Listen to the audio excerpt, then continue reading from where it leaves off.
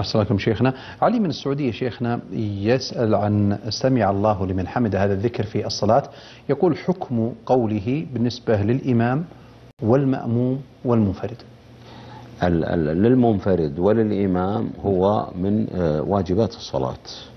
للإمام وللمنفرد من واجبات الصلاة. والمأموم ربنا ولك الحمد. المأموم يقول خلف الإمام ربنا ولك الحمد. وربنا ولك الحمد يقولها الإمام والمأموم والمنفرد. نعم. وربنا ولك الحمد الإمام والمأموم. المأموم والمنفرد واجب من واجبات الصلاة. نعم جميعا. بس شيخنا يمكن الملاحظة على بعض الأئمة وأيضا المأمومين يقول أو المنفردين عفوا يقول سمع الله لمن حمده بعد أن يستقيم يعني جزء منها بعد أن يستتم, يستتم واقفا سواء التسميع أو التكبير تكبيرات الانتقال منذ البداية في الحركة بداية الانتقال يبدأ الإنسان يكبر ويسمع. نعم. أحسن الله إليكم شيخنا الكريم.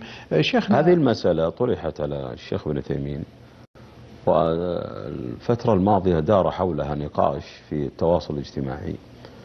وبعضهم أوصل المسألة إلى بطلان الصلاة إذا كبر عند الاست...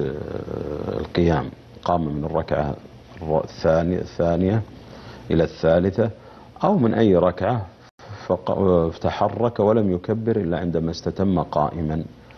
آه تكلم ابن تيمية رحمه الله تعالى في هذه المسألة وقال بأن التكبير تكبيرات الانتقال لابد أن تبدأ معها الحركة عند التحرك. ثم قال ولا نجرؤ على إبطال الصلاة ولا نجرؤ على إبطال صلاة من فعل هذا. نعم الله يسلمكم شيخنا الكريم.